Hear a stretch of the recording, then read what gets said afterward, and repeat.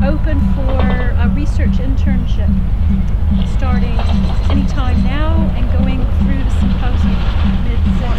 I think that that's an uncharted territory in spatial design that that facilitator. I think thinking about the way that this place has shifted across time